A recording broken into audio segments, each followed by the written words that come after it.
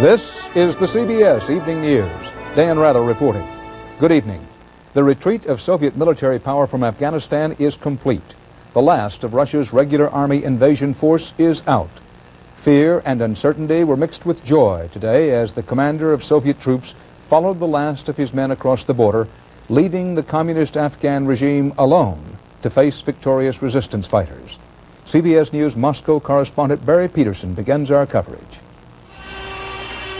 Almost a decade of Soviet bloodshed and battle ended five minutes ahead of schedule as the Soviet army completed its retreat. The last combat soldier to leave, Commanding General Boris Gromov. He walked across the Friendship Bridge into the arms of his 15-year-old son. There was hoopla and ceremony at the border and blunt criticism in the Communist Party newspaper Pravda for ever getting involved. Meanwhile, the Soviet-trained and equipped Afghan army is apparently falling apart, plagued by desertions and reports that troops looted and then abandoned former Soviet outposts. It was quiet in Kabul despite reports of 30,000 guerrillas massing to take the city. The city is open, the people come to the, their shops. As chronic shortages continue, the Soviets called for an immediate ceasefire and offered to stop shipping weapons to the government if the U.S. will stop supplying the Mujahideen guerrillas.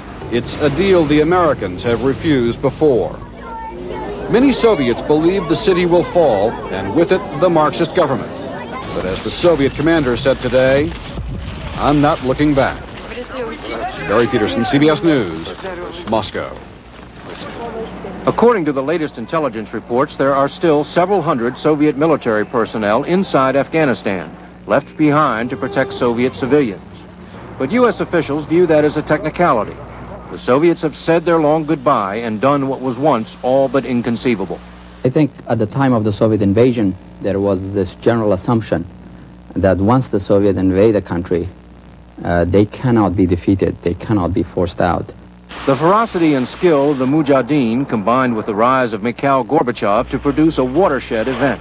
The Soviets lost on the battlefield, and Gorbachev saw that they were losing, saw that the war was unwinnable, and then, as a uh, as sort of a sidebar, he, he knew it was too expensive both politically and financially.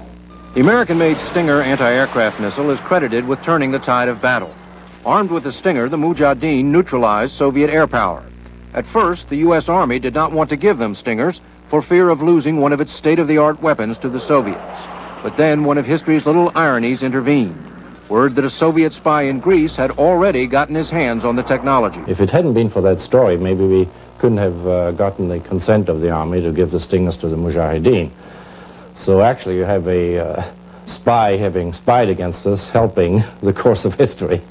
The Stinger was more than just a weapon. Providing the Mujahideen with frontline American equipment was proof positive of U.S. commitment to the rebel cause. The Soviets must have come to a judgment that if we provided them with the Stingers, there was a lot of other things that we could do that we hadn't done and that now we probably would do.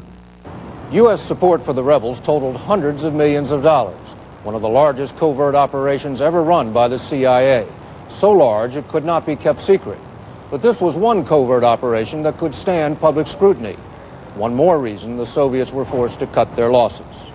David Martin, CBS News, The Pentagon.